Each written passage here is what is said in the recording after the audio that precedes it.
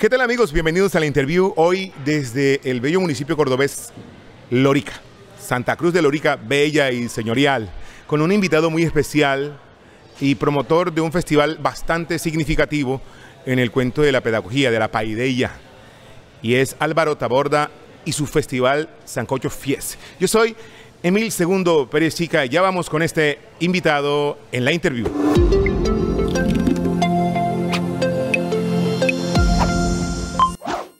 Álvaro Taborda, licenciado en sociales, estudiante de maestría o ya casi magíster en sociales. Cuéntanos, ¿cómo es esta historia? ¿Cuál es este cuento? Bueno, Emil, eh, primero que todo, buenos días a ti, a toda la teleaudiencia, cuando nos vean. Eh, este cuento sabroso que estamos haciendo hoy se llama Sancocho Pueblo Fest. Es un festival de cine escolar donde han participado 17 escuelas rurales haciendo cine con celulares eh, investigando los territorios, aportando a la cultura y el día de hoy estamos mostrándolos en una gala tipo premios Oscar y, vamos a galardonar a los mejores. Claro, Álvaro, eso de involucrar eh, en los medios, la tecnología en el aula y principalmente en sectores rurales que diría uno tan apartados de todo, ¿cómo ha sido ese trabajo? Bueno, el proceso. Listo, bueno, eso surge desde hace cuatro años que a mí me, nombraron, bueno, yo escogí trabajar en el área rural de Lorica y pues me di cuenta que habían bastantes limitantes en cuanto a la identidad cultural, no la conocían mucho, en cuanto a la falta de expectativas. Y entonces encontré eh, en la investigación primeramente eh, la, la, oportunidad de que ellos conocieran su territorio, conocieran sus comunidades, sus ventajas y sus desventajas también y a partir de esa investigación entonces teníamos que producirla en un canal de comunicación. Los canales de comunicación tradicionales en la escuela son los informes, los congresos, pero eso muchas veces no le llega a las comunidades que son las que necesitan de estos tipos de trabajo. Entonces nosotros se nos ocurrió realizar un cortometraje para dar cuenta de los resultados de esa investigación. Ahí surgió todo el inicio de esto hace cuatro años eh, seguimos durante varios años formándonos en producción audiovisual, participando en festivales de cine. Fuimos reconocidos por, una, por un medio de comunicación nacional, hazañas maestras. No voy a decir aquí el nombre para no hacerle publicidad gratis. Eh, bueno, sin embargo, eh, toda esa explosión, digamos, de, emociones, de trabajando, de, de conocimiento, se nos dio entonces por pasarla a un segundo nivel que fue plantear la formación para todas las instituciones educativas del municipio. Claro, eh, definitivamente no es un trabajo, por decirlo desde afuera, no se ve que sea un trabajo tan fácil. No, ha sido bastante difícil el tema, primeramente el tema de despertar en los chicos la la, digamos, las expectativas por el futuro, los sueños, las ganas de soñar, de vivir. Este ha sido un, departamento bastante golpeado por el conflicto, sobre todo las zonas rurales. Entonces los chicos ya casi que no tienen expectativas, ni siquiera el ámbito rural ya es una oportunidad de vida para los jóvenes allá. Entonces, ante ese escenario, pues lo primero, lo más difícil fue eso, despertarle las ganas. Luego de despertar esa pasión o esas ganas, entonces vino a convencerlos de que eran capaces de llegar a, niveles nacionales, como lo hemos hecho. Entonces, ahí en ese punto eh, tenemos algo en particular, que es que la vereda donde este proyecto surgió se llama No lo creen. Yo pensaba que los chicos, eso tenía algo que ver en su psiquis, en su manera de pensar. Entonces, yo le nombré a este proyecto por primera vez para que lo crean, para poder creer que sí podíamos ser capaces de transformar nuestros contextos. Luego de eso, entonces fueron creciendo tanto las cosas que se nos hizo complicado el tema de los recursos. Entonces empezamos a autoformarnos en, conseguir, en gestionar, en conseguir recursos, aspiramos a convocatorias nacionales del Ministerio de Cultura, bueno, la Secretaría de Educación, que ha sido un gran apoyo para nosotros, la Alcaldía de Lorica, pero no fue primeramente el apoyo, y luego el proyecto. No, por el contrario, es la voluntad del proyecto, las ganas, el talento, lo que ha hecho que los administrativos pues nos apoyen, porque realmente esto ha sido un proyecto bastante apoyado por, muchas entidades, incluso ya a nivel departamental nos están tocando las puertas ellos a nosotros para brindarnos el apoyo. Álvaro, ¿es difícil ser Álvaro en, eh, eh, eh, en este cuento? ¿Qué te digo? no, nada, nada, por el contrario creo que ser yo mismo es lo que me ha permitido llevar esto a este nivel en el que lo tenemos. Porque muchas veces nosotros como docentes pensamos en que debemos tener un performance o una cara, pero realmente no. Realmente eh, siendo nosotros mismos es donde más crecemos. Yo soy docente de ciencias sociales y muchas personas nos preguntan, pero ¿por qué tu proyecto tiene que ver con cine, con producción audiovisual? No sé, o me confunden con, con informática, otras cosas. Resulta que es que eh, yo tuve una historia muy bonita y es que eh, quise hacer un documental para dar a conocer la historia de mi padre, que también fue un docente que trabajó en comunidades rurales, pero porque por cosas del conflicto terminó asesinado.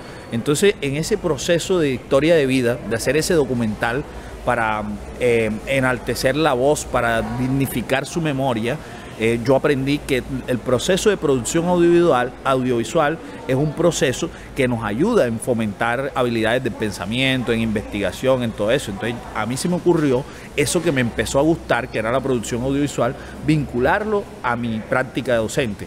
Entonces yo pensaría que no es difícil ser Álvaro, por el contrario, ser nosotros mismos como docentes, gestores culturales, líderes, es lo que nos ayuda a um, estar tan cercanos de los proyectos, de las comunidades. Las personas se sienten muy confiadas y muy cercanas a mí en el sentido de que saben quién soy y cómo me comporto.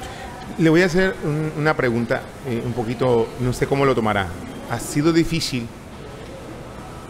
hacer que los chicos en el escenario donde tú trabajas cambien la rula, valga la expresión, y el machete y el garabato por estos instrumentos? Bueno, Emil, parece paradójico. ¿Te parece? ¿Te parece? No. Yo creo que me entiendan la, pues, Tranquilo, lo que te voy a comentar es totalmente diferente. Imagínate que ni siquiera eso es escenario. O sea, ya los jóvenes en el área rural, ni siquiera la rula, ni siquiera vaquear, ni siquiera el machete, eh, el garabato, nada de eso los jóvenes rurales se están dedicando a mototaxiar, se vienen para los centros urbanos a mototaxiar, porque no tienen opciones. Y eh, las mujeres se vienen a trabajar en casas de familia, que así como tú dices, no quiero que se me malinterprete, el trabajo no es, no es mal, pero eh, son jóvenes. ¿Quién les robó las oportunidades de soñar, de pensarse en grandes puestos, en grandes lugares? Ahora, también no todo es sacar, o sea, no todo es cambiarles a ellos la rula y eso por, por otras opciones, sino por el contrario, ver cómo esas otras cosas que ellos aprenden, como la producción, la investigación, les ayuda ya en el campo. Imagínate tú un grupo de estudiantes que, por ejemplo, con estas herramientas creen una, un, un, proyecto, una, un negocio, un emprendimiento rural. Sí, o sea, yo veo, por ejemplo, hay unos chicos en Tunja que eh, ellos son TikTok, pero del área rural y te enseñan cómo cortar la maleza, cómo hacer tal cosa. Entonces, no es tampoco cambiar una cosa por la otra, porque ya se ha cambiado. En el área rural han cambiado los trabajos rurales por trabajos eh, digamos, de oficios eh, que se hacen en la ciudad. Entonces, lo importante no es cambiar, sino darle valor a lo que hacen. ¿Por qué Sancocho? Bueno, esa ha sido una pregunta bastante común. De hecho, el primer día que sacamos la resolución con la Secretaría de este proyecto, todas las instituciones de Lorica se sentaron a pensar qué era el Sancocho de Pueblo. Y ahí vamos ganando con el primer, con, con solo con el nombre ya los pusimos a pensar y eso era importante. Lo otro es que Sancocho es una comida típica del Caribe colombiano y que reúne a todas las familias. O sea, por lo general nos comemos el sancocho el domingo que vienen los invitados, en el paseo. Y además de eso también tenemos eh, una característica muy especial y es que es la mezcla de varios ingredientes. Entonces acá lo que estamos haciendo es mezclando varios ingredientes y sumando a las familias a estos procesos educativos. Las familias, ¿cómo, cómo, cómo están los papás metidos en este cuento? Vale. ¿Cómo los meten ellos? Pues, exacto. Bueno, ¿cómo los meten? Porque como este producto audiovisual no es solo técnico, sino que tiene un gran aporte investigativo, entonces en ese escenario, en ese escenario, em, salimos a buscar a los sabedores. A, las matronas, a, los adultos del, del, pueblo, a la gente de la comunidad, a indagar, a preguntar. Y luego cuando ya se recolecta la información, entonces encontramos que podemos hacer algo muy chévere en el tema de que se convierten en actores, se convierten en camarógrafos, o sea, la comunidad se convierte en parte del elenco. O sea, ¿esto es lo que esperaba o no o hay más cosas? Bueno, el los festivales, tú sabes que son versiones anuales. Eh, podemos decir que este año el Festival Sancocho Pueblo se está clausurando el día de hoy. Sin embargo, esto es apenas el inicio. Esto apenas comienza. El otro año eh, vamos a tener al Ministerio de Cultura, vamos a tener al departamento y el municipio sumando los esfuerzos para que la próxima versión sea una versión departamental, pero desde aquí, desde Lorica, ¿ok? Y lo otro también es que eh, por ahí me estuvo diciendo el alcalde que íbamos a hacer una visita al Consejo de Lorica a proponer para que esto sea institucionalizado. La idea es poder empezar a crear una política pública incluso que fomente en las escuelas no solo la producción audiovisual, sino también el STEAM y otras metodologías que nos ayudan a, seguir formando a nuestros chicos para el futuro.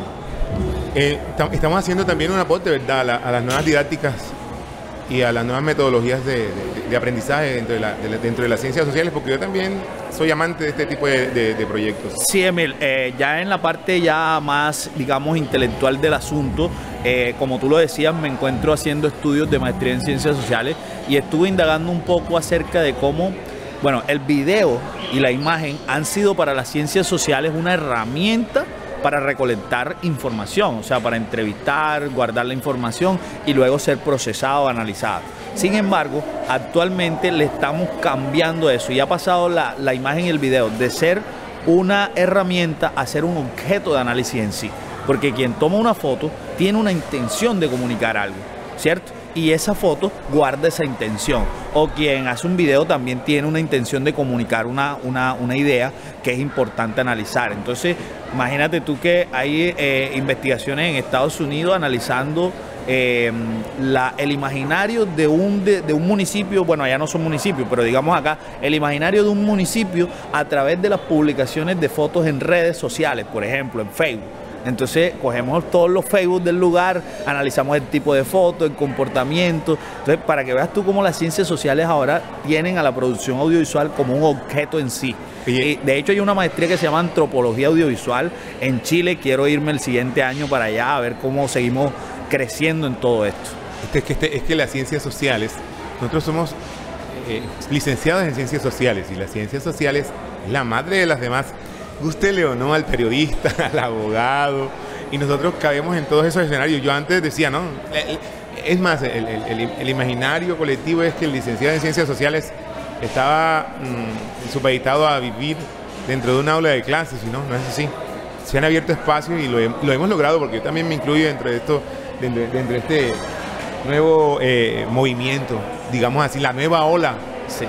Claro, por supuesto. De hecho, para mí tú eres un referente. eres un referente eh, ver todos los trabajos que hace. Yo recuerdo el año, hace como dos años, la primera vez que nos inscribimos en una convocatoria, si te acuerdas que te, por ahí como a las 11 de la noche te dije, hey Emil, inscríbete en esto, que tú eres la persona y resultaste ganador de eso. Pero, o sea, estuvimos ahí inscritos, pero no, no, como, bueno, ganamos, pero no ganamos. Tuvimos ahí, tuvimos ahí la oportunidad de, dar esos pininos, pero fue una cosa tan agradable poder verte a ti eh, creciendo en eso junto conmigo. Bueno, Álvaro, eh, gracias por estar en este episodio de, de la interview, episodio de Sancocho Pueblo, que yo creo que va a ser el primero, porque tenemos que hablar de muchas más cosas. Me he dado cuenta que tienes invitados acá, voy a ver si de pronto esos invitados pasan por esta silla, a ver si en este episodio involucro los pensamientos y el hablar y el saber. Te dice a los sabedores de este cuento, porque es que eh, es una mezcla de personas que han incidido en usted, antropólogos, sociólogos, matemáticos, comunicadores. Usted, usted también podría decir que es una colcha, un sancocho un sancocho, precisamente. Un sancocho social. Sí, así es. De hecho, bueno, no voy a mencionar el nombre, pero eso es una teoría que se habla del sancocho social para resolver los problemas colombianos. Gracias por estar aquí en este, en este, en este espacio, en este episodio de la, de la, de la interview. Espero que, que no sea pues el último y voy a tratar de que dentro de este episodio también hablen otras personas. Perfecto, muchas gracias Emil a ti por invitarme.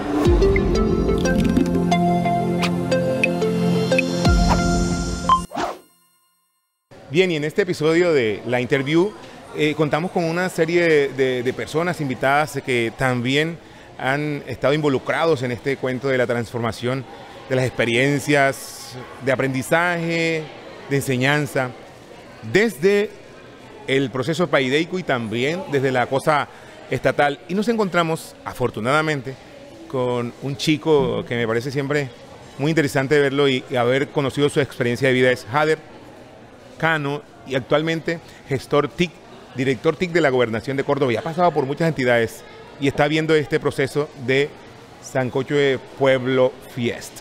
Bienvenido a la interview, a este pedacito de tiempo que compartes con, nosotros, Ader. Desde hace mucho rato no nos veíamos. Emil, me alegra mucho verte. Eh, te lo he dicho siempre que te encuentro, mi gran admiración por lo que haces. Yo creo que tú estás dejando una huella grande y, me, me, parece o siento que es un privilegio poder estar sentado conversando con, con una figura tan importante de la educación de nuestro departamento. Oiga, honor que me hace usted, de verdad. Y, cierto que, eh, bueno, trabajando en esto como miguitas hemos llegado a este punto. Pero usted ha impuesto una nueva mirada de la, de la gestión de las tecnologías de la información en Córdoba, porque antes era el amigo en que sea. Amigo, y no, tú eres el que vas para esto, pero la gente no sabía, con la pena por los que han pasado por ese puesto. Pero usted ha transformado la mirada de, esto desde cuando estaba en la alcaldía, porque yo desde de Montería, usted, hasta cómo ha sido ese proceso. Mira, hay una ventaja y es que eh, yo llevo la pedagogía en el corazón y, eso nos ha dado la posibilidad de mirar la transformación digital del departamento del municipio desde la educación. Entonces, eh, la cercanía, yo siempre he pensado que uno de los principios más importantes de lo político y lo público es la participación ciudadana. Si hay algo que nos ha dado éxito, que nos ha dado réditos, es escuchar a quienes saben hacer las cosas. En este caso a los profes. Son ellos los que saben hacerlo y de ellos me he rodeado. Si, hemos alcanzado logros en Montería y en el departamento, no es por mi labor específicamente, es por la labor de los profes que hemos sabido escucharlos y que hemos sabido caminar de la mano con ellos para llegar a lo que hoy estamos haciendo en el departamento. Estamos en, estamos en Lorica. En Lorica se vive supuestamente el ser caribe, el ser sinuano. Eh, aquí está la transición del ser sinuano y cuando llega a una montería hay una combinación de otras cuestiones. ¿Qué es desde su estancia y desde su perspectiva el ser sinuano, Mira, el ser, el ser sinuano eh, eh, es, una de las cosas más bonitas que, que, yo puedo sentir en mi corazón. Y te lo digo de la siguiente manera. Mi hija tiene ocho años y en estos días le llevé un bollo dulce de maíz. Y me dijo, papi, me trajiste bollo y no me trajiste suero. El bollo dulce sin suero no paga. Entonces, el, hecho de escuchar eso en mi hija que tiene ocho años, de verla tan arraigada a eso que hace parte de nuestra cultura, de nuestra costumbre, de nuestra gente, el bollo dulce. Entonces, ser sinuano es, es, muchas cosas. El, sinuano le mete corazón. Lo hablaba contigo hace, un, hace un momento. El sinuano le mete mucha, mucho corazón a lo que hace el sinuano es bueno, el sinuano es servicial, el sinuano es empático, no solamente es pescado de río, no solamente es bollo dulce, no solamente es maíz, el sinuano es, es, esa persona buena que no se vara, que es resiliente, que va para adelante a pesar de las dificultades como lo has hecho tú y como lo he hecho yo. Javier, entonces ese sinuano y con estos nuevos mundos o este nuevo mundo, por decirlo así, de la modernidad líquida, de la sociedad del cansancio, como quieran decir los estudiosos, ¿cómo se tiene que comunicar? Mira, indudablemente eh, nosotros tenemos que ir agarrados de los cambios y de las transformaciones que hay a nivel mundial. Eh, nosotros no podemos quedarnos atrás. Eh, tenemos la responsabilidad de subirnos en el bus de la, de la tecnología, sin duda. Tenemos que hacerlo porque si no quedamos rezagados. Ahora hay un tema de, responsabilidad en el uso, en el uso de la tecnología. Hablamos de sinuanidad, pero, pero hoy te tengo que decir que el, mal uso, el uso irresponsable de las tecnologías digitales también hace que, la, que esa huella sinuana se borre en el camino. Entonces tenemos una gran responsabilidad de usar la tecnología, pero usarla responsablemente. Por eso yo celebro este tipo de, eh, de iniciativas como Sancocho de Pueblo que están usando la tecnología, que están resignificando, que están haciendo que el proceso educativo sea una experiencia significativa. Y el hecho de que hoy estemos viendo una cantidad de documentales, de cortos, eh, que utilizan de base la tecnología, pero que están haciendo fortalecer la identidad cultural. Así es. Entonces, eso es lo que hay que hacerlo. Usar la tecnología, pero usarla responsablemente. Y una de esas maneras es cómo hago yo para fortalecer mi identidad cultural, para, para, para, para fortalecer la tradición oral a través del uso de las nuevas tecnologías. Eh, eh, en política, bueno, usted que ha estado en el estamento, en las instituciones, eh, a esto se le presta poca atención. Realmente hay que pensarlo. Es más, el recurso, el rubro para esto, yo a veces creería que es poco significativo.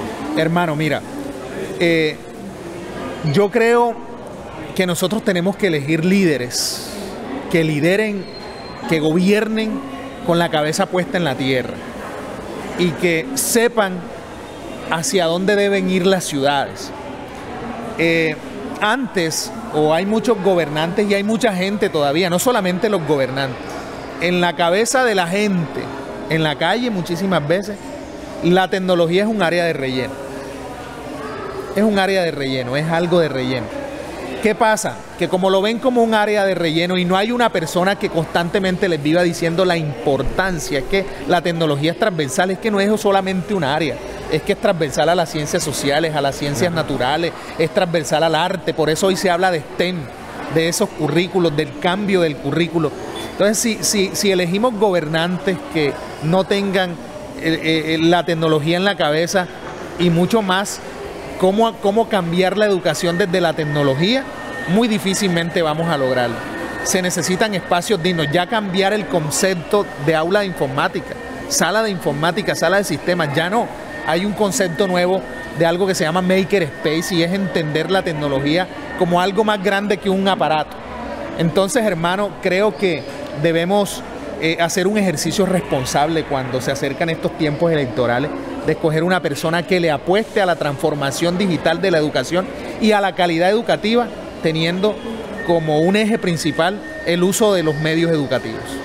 Y me, agrada pues que estemos en un escenario donde se pueda evidenciar de que sí, se, sí es, posible generar estos espacios. A ver, yo sé que este episodio va a ser un poquito extenso porque voy a tratar de que hablen muchos de los invitados acá en este episodio, pero de todas maneras creo que debemos hacer un espacio para hablar, eh, ampliar muchas de las cosas, porque como les digo, antes los que estaban en estos cargos, ojalá que no, vaya a continuar eh, el perfil no lo tenía o, no lo tiene.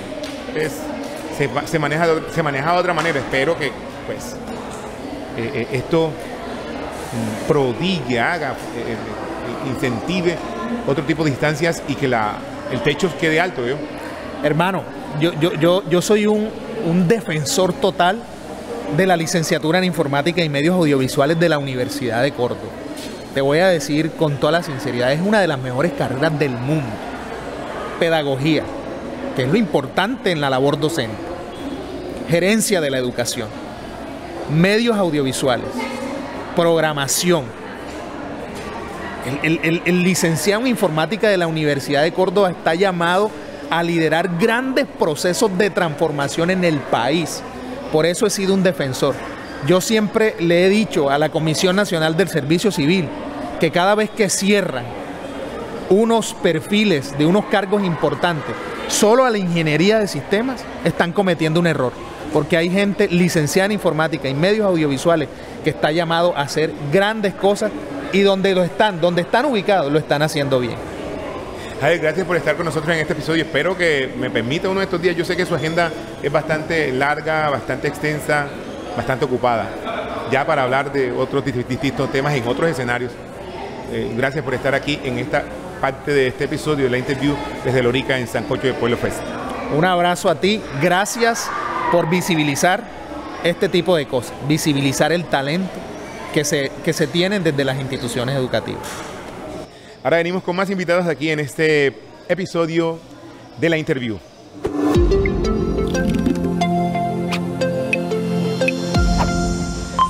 Bien, y en este Sancocho de Pueblo, personas importantes se han aportado bastante, bastante a la historia, a la sociología, al ser caribe. Y nos acompaña Víctor Negrete, sociólogo.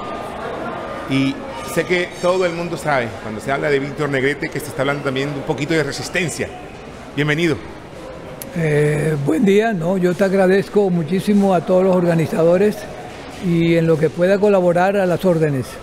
La investigación, acción, participación y lenguaje audiovisual hoy está escenificado en un festival que parece ser el primero en, eh, en, este perfil, en esta dinámica que se ha visto en Córdoba. ¿Qué le parece? Bueno, la historia de, los audiovisuales en, en, lo que tiene que ver con la investigación, acción participativa. Fue una de las primeras experiencias que tuvimos gracias a un francés que se llama Yves Langlois, audiovisualiza él, que ya había trabajado mucho en Francia y en otros países este tipo de temas. Y por fortuna pues aquí pudimos trabajar cuatro que nos parecieron interesantes y a manera de prueba con algunos elementos todavía artesanales que teníamos en ese momento pero de todas maneras fueron un buen significado. Hoy en día se pueden ver en, YouTube ¿sí? Algunas creencias representativas de Córdoba y ahí están los cuatro videos que alcanzamos a hacer. ¿Cuál fue la experiencia que obtuvimos nosotros en materia audiovisual? Primero, que tenía que ser algo compartido algo, un tema que nos pusiésemos de acuerdo por su importancia, por su significado y por lo que en un momento dado podía representar. Consideramos nosotros en ese entonces, ya hace muchos años, que lo audiovisual podía jugar un papel sumamente importante en esto de la enseñanza, de la divulgación, de, reconstruir historias o episodios históricos que son importantes para, para nosotros tener mucho argumento en materia, en materia de, de todo lo que se refiere con historia, con cultura, con todos esos aspectos. O sea, esto viene siendo un gran avance para el, eh, la cosa académica, desde, desde los estudios sociales. Sí, porque nosotros, esos trabajos, esos cuatro trabajos que hicimos, se repartieron rápidamente en muchas partes del país, empezaron a utilizarlos también ya con profesionales, un poco más con personas profesionales, porque nosotros éramos muy, todavía muy artesanales, ¿no? Los materiales que teníamos, los argumentos, la elaboración de esos documentos también era muy rápido, y estábamos más como en, en cuestiones de prueba. Pero después, a medida que ya fuimos produciendo, ya se podía ver un poquitico más la calidad del trabajo, eh, los actores, eh, también toda la dicción que se estaba empleando en ese momento, pero de todas maneras fue una enseñanza muy paulatina. Nosotros debimos suspender eso por motivos de... En ese entonces los grupos armados estos ilegales también estaban muy pendientes de lo que hacíamos y realmente perdimos a unos compañeros y decidimos mejor dejar eso quieto. Ya teníamos una sección de audiovisuales constituida que hubo pues que desarmarla totalmente y desde entonces no hemos tenido más oportunidades nosotros. Por eso ahora cuando los veo a ustedes trabajando estos temas que me han llamado la atención, encuentro pues que hay un buen reemplazo, hay un adelanto en todo esto lo que significa los temas, la participación ya de actores jóvenes, porque hay unos, unos jovencitos todavía que pueden dar muchísimo. Entonces yo lo que veo es con esa experiencia y con la autoría y con el apoyo de ustedes ya con más experiencia, obviamente yo creo que podemos estar logrando dentro de poco unos buenos trabajos que podemos competir fácilmente con cualquiera del país. Así es. Necesitamos entonces, es eso, que esos muchachos, esas muchachas que tengan esas habilidades de expresión, de actuación, se mejoren, los eduquemos más. Ojalá se constituya una escuela de audiovisuales en donde formemos directores, en donde formemos actores, en donde formemos escritores, en donde formemos muchos de ellos. Yo sé que esto es posible porque nosotros avanzamos un poquito, no hasta donde quisimos, pero sí avanzamos un poquito y estoy convencido que con toda esa experiencia, con la de ustedes ahora, nosotros podemos avanzar mucho más. Gracias maestro por estar en esta sección de este episodio desde Lorica. Gracias por estar con nosotros y esperamos que sus aportes continúen viendo este tipo de semillas, de resultados. Es que ahora lo que, lo que les dije, estamos, eh, este año apoyamos nosotros a, través de CEDAL, Centro de Comunicación Educativa Audiovisual de Bogotá, apoyamos cuatro instituciones educativas de primaria con trabajos que se podían realizar. Los hicieron bien, trajimos unos, unas personas que han trabajado mucho el tema respectivo, parece que hicieron un buen trabajo porque generaron algo importante. Entonces vamos a continuar con esa ayuda, vamos a seguir impulsándolo para ver si dentro de poco Lorica que se pone, pues parece que ya está a la cabeza de todo este proceso, ¿no, Lorica? Entonces lo que necesitamos es fortalecerlo más y en la medida que ustedes fortalezcan, vayan constituyéndose en ejemplo para otros municipios, para otras secretarías de educación o para otras instituciones, ¿sí? y que tengamos dentro de poco un conjunto completo, ¿sí? y muy bueno, muy bueno, que es lo que necesitamos de estas prácticas audiovisuales. Mis felicitaciones. Gracias a usted por estar con nosotros.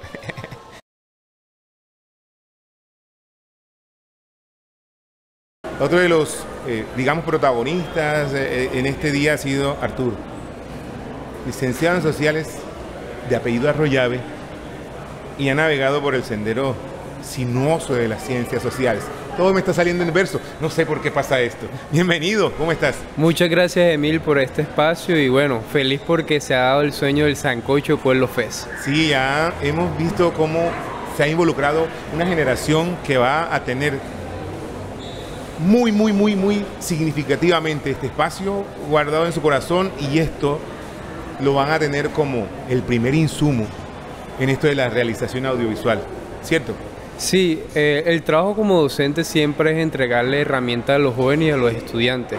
Entonces, ¿cómo le entregamos esas herramientas para que ellos construyan sus historias, reconozcan su historia y puedan enunciar su historia? Porque a veces con lo audiovisual solamente queremos mostrar, pero necesitamos un trabajo de reconocer la historia para saber qué vamos a contar. Logran hacer que los chicos comuniquen lo suyo, que comuniquen su ser desde cualquiera de sus roles. ¿Cómo hacen o cómo generan ustedes esta acción, este proceso? Bueno, el primer proceso es otra vez regresar al pasado y escuchar. Yo siempre les digo a mis chicos, el mundo no está hecho de átomos, el mundo está hecho de historias y son las historias las que pueden cambiar el mundo. Entonces estos chicos antes de comunicar debemos que hacer que ellos aprendan a escuchar, a escuchar a sus abuelos, escuchar toda esta tradición oral que manejamos para que ellos asimilen estas historias, reconozcan la suya y empiezan a hacer el trabajo de contar. No es fácil porque los jóvenes no tienen la facilidad de expresarse, de contar fácilmente lo que viven a diario porque nos centramos mucho a veces en los textos, en los mensajes de WhatsApp, en el Facebook, en el Instagram y han perdido un poco las habilidades comunicativas porque se están apropiando de las habilidades transmedias. Pero entonces, ¿cómo recuperamos esta habilidad comunicativa de la tradición oral para que puedan utilizarla y potencializar con las habilidades transmedias? Entonces, es un trabajo de un ejercicio de confianza y reconocimiento. Arturo, eh, es impresionante todo lo que está haciendo. Este, ¿Esto es lo que se, tenían soñado ustedes? Sí, es un sueño porque en Montería y en Córdoba no se haya visto un festival audiovisual hecho con teléfonos para los jóvenes de la zona rural. Eh, los trabajos anteriores que vienen haciendo festivales es solamente con chicos de la zona urbana, que obviamente ya tienen diferentes capacidades con las habilidades transmedias pero los jóvenes de la zona rural a veces no tenían acceso a esto. Entonces, como entregarles las herramientas, la oportunidad de que ellos puedan mostrar sus historias, es un sueño realizado. Ojalá que este sancocho de pueblo se convierta en un sancocho urbano de muestras audiovisuales. Claro, nosotros somos el sancocho de la trietnia, entonces estamos los afros, los indígenas, los españoles, y dentro de todo eso estamos nosotros con el poder caribe cordobés. Gracias Arturo, licenciado y, y una persona que se proyecta en este, este, en este mundo de la nueva ola de la enseñanza, del aprendizaje, de la resignificación de las ciencias sociales? Bueno, me gustaría también comentar que desde las ciencias sociales estamos con el enfoque artístico. Yo estoy desarrollando el laboratorio de arte mural para el mural y también siento que en mis talleres con Sancocho Pueblo enfoco esa línea artística, de que los chicos tengan la sensibilidad con lo que están viviendo en el territorio. Que cuando miren un paisaje, un atardecer, digan, ah, es lo que miro todos los días. Sino lo que digo, estoy viendo un atardecer que no veré siempre. Entonces, darle esa esencia y ese significado a las cosas sencillas, que no es tan sencillo porque cuando mira a los humanos, le da el valor verdadero. Bueno, gracias por estar con nosotros. Listo. Muchas gracias a ti, Emil.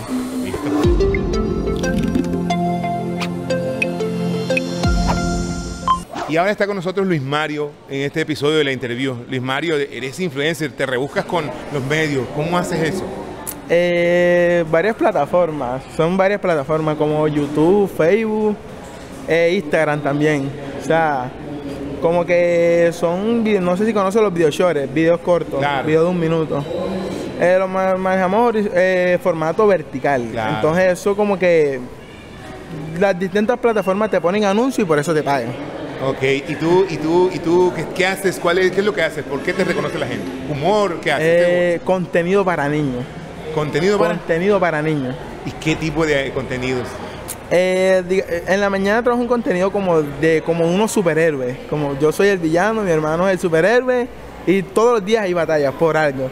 Ya sea porque mi mamá también trabaja conmigo, mi primo, son unos mendigos. Entonces yo voy todos los días a molestar a los mendigos y el superhéroe lo salva. ahí está el, Cierto. Como, eso, eso se puede, puede decir que eso es una manera eh, de encontrarle sentido a la vida. Se puede decir. Claro. ¿Tú le encontraste sentido a la vida con eso?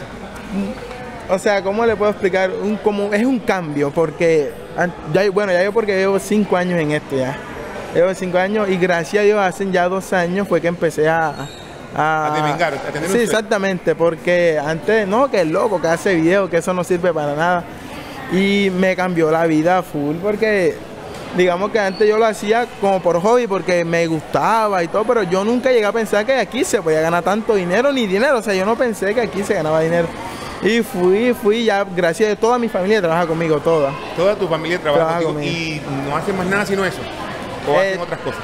Solo eso, solo, nos dedicamos solo a las redes, solo a las redes. ¿Cómo hace eh, eh, cotidianamente usted para generar las ideas? ¿Quién es la cabeza detrás? mi mamá es la que genera 12 ideas diarias. Son 12 ideas que tenemos que hacer diarias. Wow. Es, eh, o sea que, de alguna manera, eh, desde tu nuevo lenguaje audiovisual, estás aportando. ¿Qué aprende la gente cuando te ve? Digamos lo que como también es una manera de reflexionar, porque vea que nosotros hay, veces que le metemos como reflexiones a los videos, que no, que digamos lo que hay gente que trata mal a los mendigos por su manera de vestirse, por su manera de ser. Entonces también le metemos un, poquito de reflexión al final para que la gente, también aprenda eso.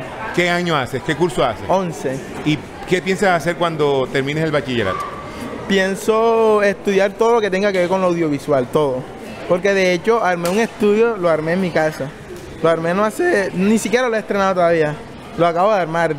Ya el, el otro mes, ya que me llegan unas pantallas de, Estados Unidos, ya, ya termino todo. ¿Quién te ayuda a manejar el dinero? Mi hermano. ¿Mayor o menor? Mayor. Ok. Luis.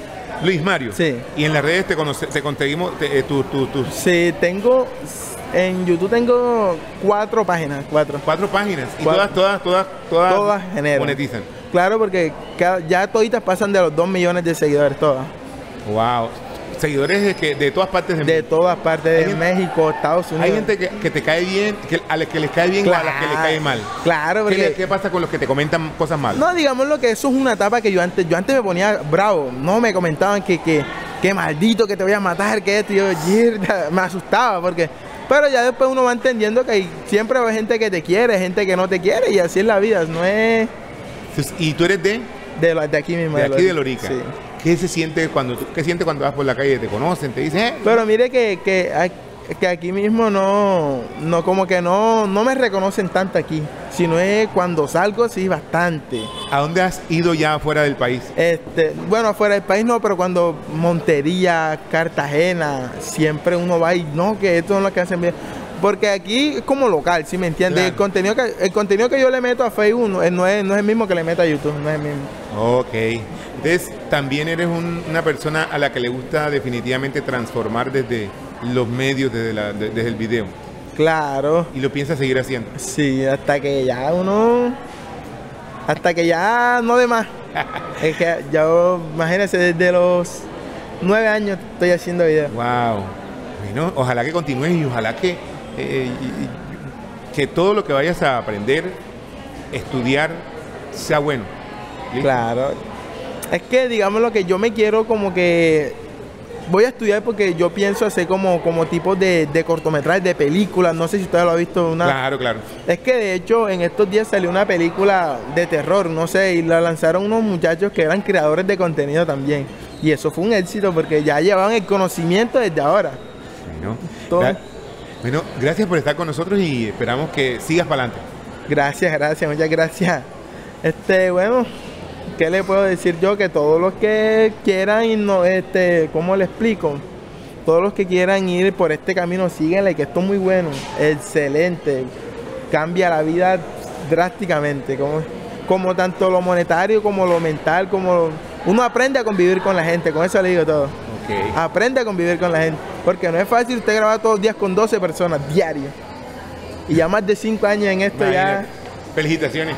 Muchas gracias. Espero y espero que otro día eh, te- vete y, y- y más evolucionado, más eh, y mejor. Muchas Gracias, muchas gracias.